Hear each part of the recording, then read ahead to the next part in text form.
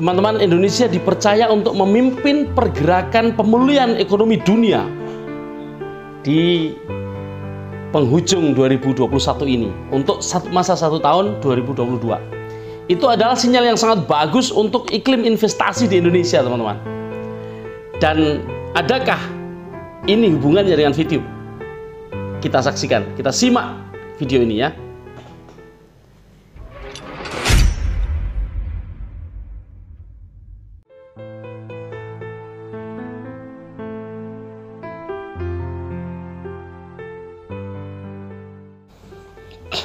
Halo Assalamualaikum warahmatullahi wabarakatuh. Selamat pagi teman-teman VTuber di mana pun Anda berada. Ketemu lagi dengan saya Mithan Anis di channel Sandikala. Teman-teman mudah-mudahan hari ini semuanya ceria, sehat ya. Ceria kayaknya enggak Banyak yang pada enggak ceria lah. Tapi teman-teman yakinlah keceriaan itu akan datang ketika kita sudah tahu apa yang membuat kita ceria.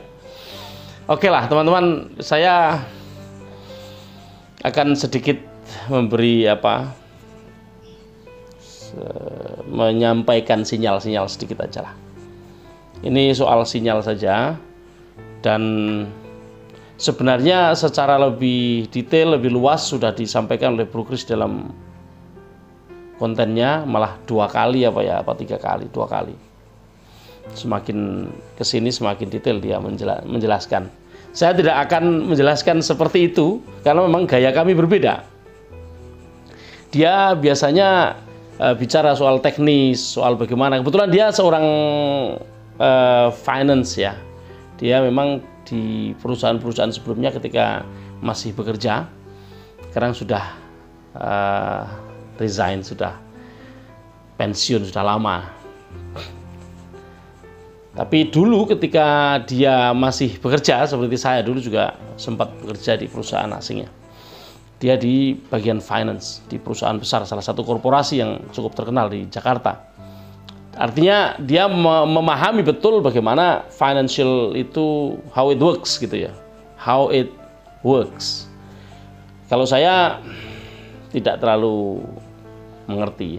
Istilah-istilah tahu tapi uh, detailingnya hubungan-hubungannya apa segala macam nggak tahu. Tapi begini teman-teman. Presidensi G20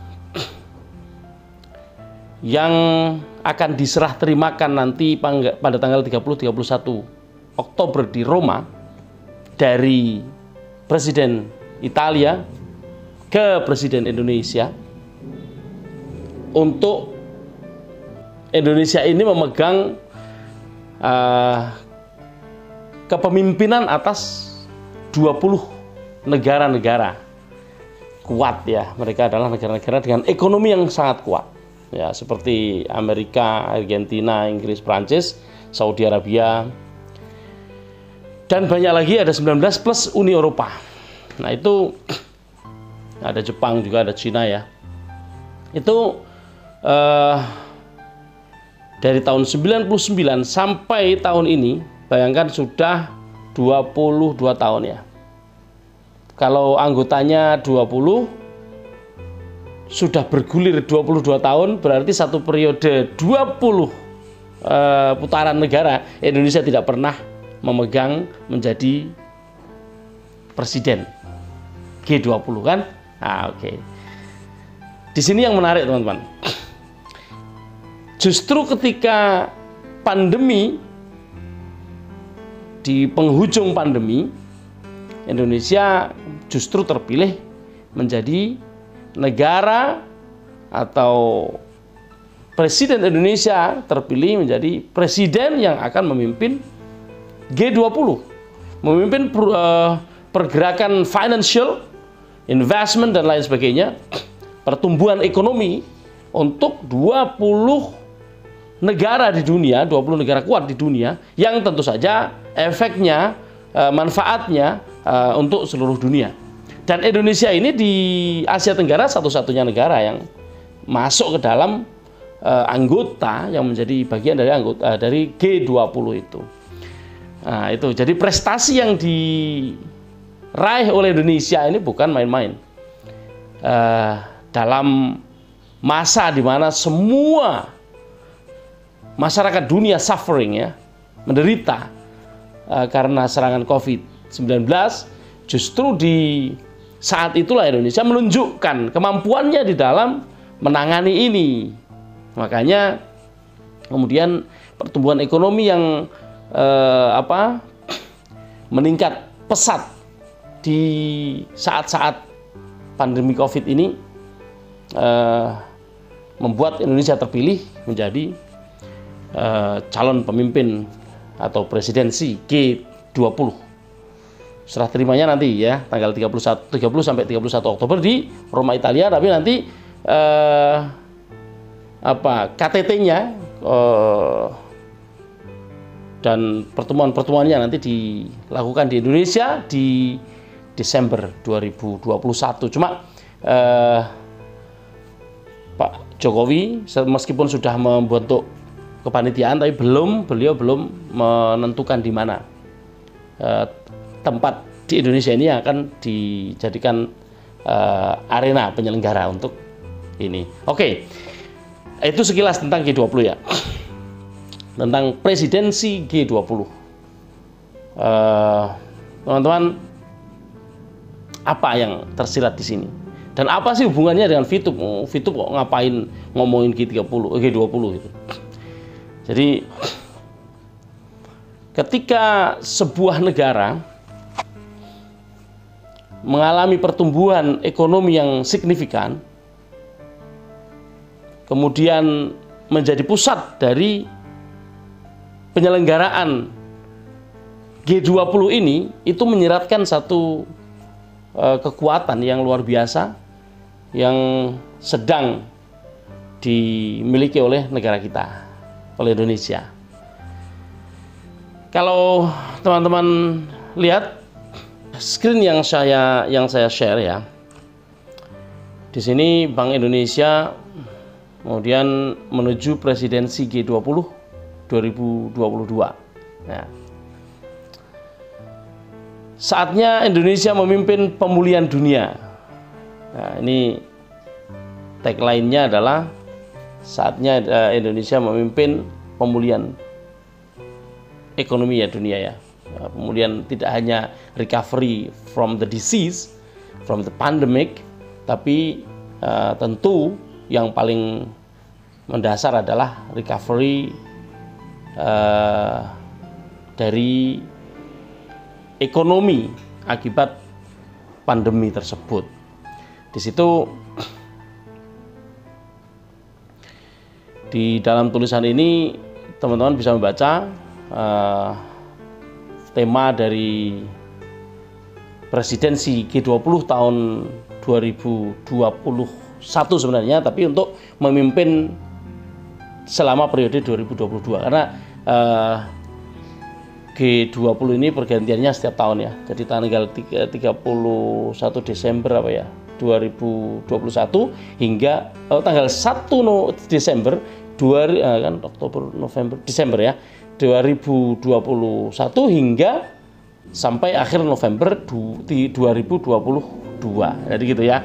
Jadi uh, periodenya memang 2022. Jadi jangan bingung uh, pemilihannya apa penyerah terimaannya di ta tahun 2021 tapi periodenya 2022.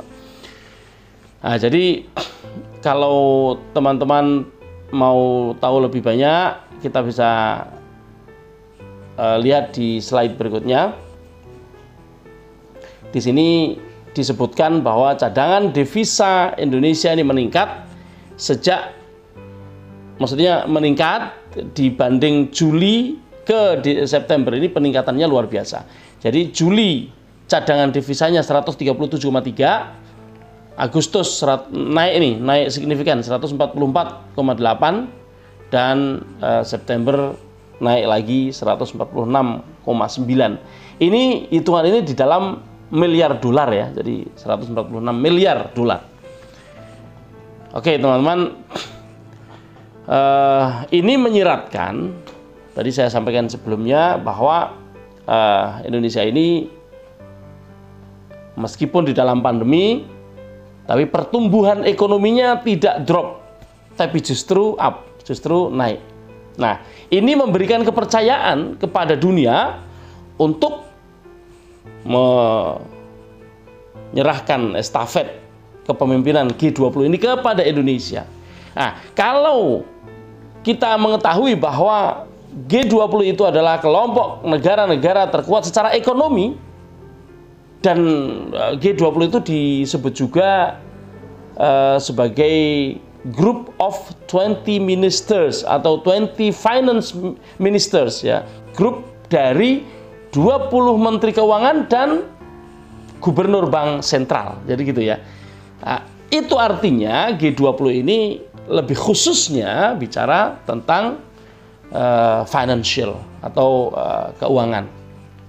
Kalau bicara tentang keuangan itu artinya uh, lebih banyak membicarakan tentang bagaimana pemulihan-pemulihan ekonomi nanti di uh, pasca pandemi ini.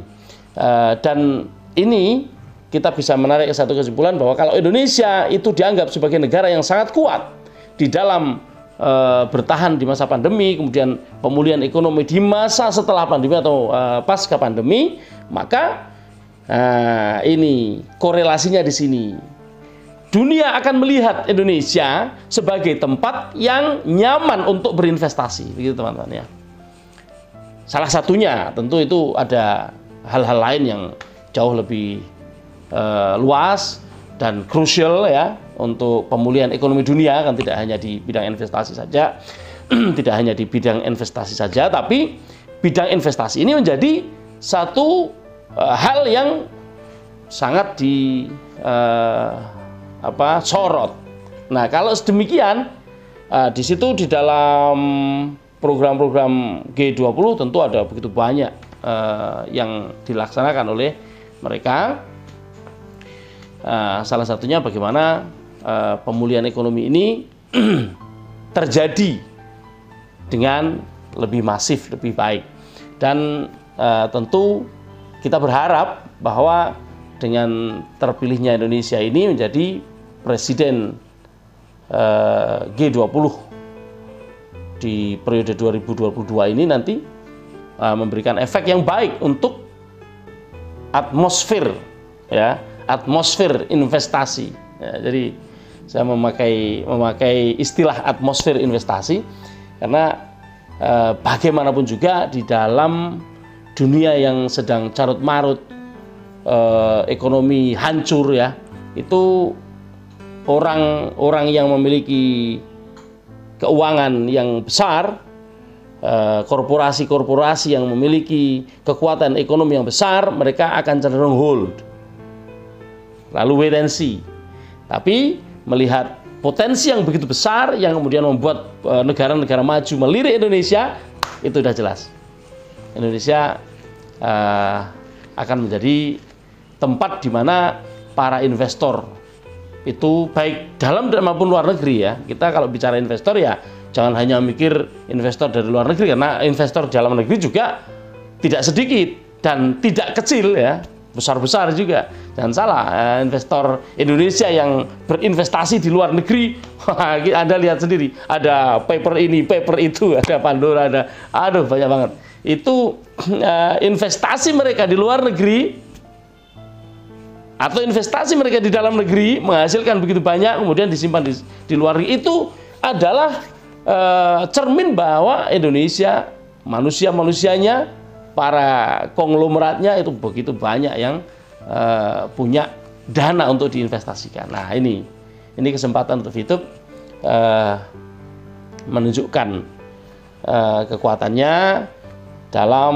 e, apa seperti kita kan tahu ya di pengumuman yang disampaikan manajemen di dalam fitup.co itu mereka sedang berkoordinasi atau sedang uh, secara intens berkomunikasi dengan investor. Nah, ini investor ini uh, akan lebih nyaman berinvestasi ketika uh, ko apa? kok ko ketika kondisi ya benar kok ya. Ketika kondisi eh, perekonomian itu eh, ada harapan, harapan menuju apa pemulihan ekonomi karena bagaimanapun juga eh, ketika ekonomi terpuruk ini ini manusiawi nih, manusiawi. Anda ketika Anda punya uang dan Anda melihat peluangnya kecil, ketika ditawarin investasi, investasi itu peluangnya kecil, Anda pasti akan hold uang Anda, akan akan tahan uang Anda untuk tidak ditaruh di uh, bisnis itu. Tapi begitu melihat adanya uh, gembrigah apa, uh, adanya satu pergerakan yang cukup baik yang cukup apa e, menggembirakan, cukup memberikan harapan, tentu e, Anda sebagai seorang investor akan menentukan dan speed di dalam membuat e, keputusan e, apa ya speed di dalam membuat keputusan itu e, salah satu bagian dari e, kunci seseorang sukses di dalam berinvestasi. Saya kira itu teman-teman. Uh, mudah-mudahan nanti semakin ke sana semakin uh, jelas untuk kita. Uh, karena memang sinyal-sinyal ini nggak bisa kita sampaikan secara vulgar, secara langsung begini begitu itu uh, apa adanya itu tidak mungkin ya. Semuanya mesti melalui simbol-simbol, uh, melalui uh, apa sinyal-sinyal dan saya kira teman-teman sudah mulai mengerti sinyal-sinyal yang kita pancarkan melalui eh, channel-channel uh, kami. Jadi kalau kami ada 5 plus 1 ya. Kadang-kadang di antara kami sama ini yang dibahas. Kadang-kadang enggak. Tapi yang jelas eh, dalam banyak hal kami menyampaikan hal-hal yang sama, menyampaikan materi-materi yang sama. Eh, satu dua materi mungkin tidak bisa sama karena ketika kita tidak menguasai materi itu dan kita harus menyampaikannya bisa jadi nanti ada salah bicara. Nah, jadi kita menjaga itu. Uh, saya tidak tidak menyampaikan terlalu detail soal bagaimana keuangan bekerja. Saya khawatir nanti uh, saya salah bicara. Oke teman-teman, uh, selalu optimis dan tetap semangat dan jangan sampai lepas dari sebuah keyakinan bahwa sukses itu harus kita perjuangkan. Selamat siang, selamat pagi, selamat sore, selamat malam, dan tetap semangat.